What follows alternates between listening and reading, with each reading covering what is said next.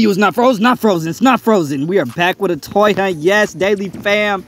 Uh, you know, this is a part of the THC. Not buying any wrestlers till I hit 2,000. But look at this. I know people have been saying this. I'm not too excited for this, but seeing it in person actually looks really good.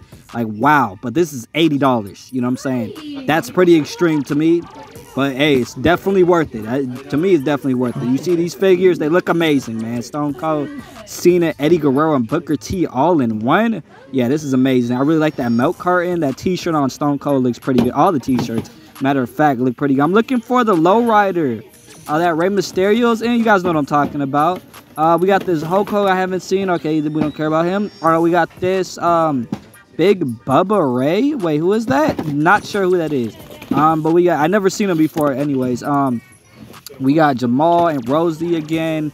Y'all seen from the last toy hunt, Jamal and Rosey. I'm still looking for that John Cena. I'm still looking for that John Cena, that clear John Cena. But we're at this next Walmart, and hey, man, you know, wow, I, I don't need a John Cena when you got a Mankind. Hey, a Mankind, bro. Look at Mr. Socko. I hope they make that figure with Mr. Socko in like a battle pack because I'm not trying to buy any Ultimate Editions. If you know me, I hardly pick up Ultimate Editions unless they look really cool, but I have a Mankind already, so I don't think I'm be picking it up. Why? What is that? Why, why, why are those wires on those figures? I think this is a new solo as well, top picks, I'm pretty sure. Uh, if I'm not mistaken, we got a black towel. This is pretty cool as well, man. Really like the t-shirt and the accessories it comes with. I'm pretty sure that's a new torso he comes with. And this Cody Rhodes looks repackaged. Oh, no, it's not. This is new. This is new. I have this Cody Rhodes um, but they made another one. They um, made a top picks this time. We got The Rock again. I wish they made a clean fade or a clean shaved Rock. I don't like The Rock with the mustache. You know, he just um, more known with uh, his clean shave, but it's still a pretty good figure. Um, yeah, we got a whole bunch of figures still. You know what I'm saying? Great to see. We're at this next Target and are you kidding me? Are you serious?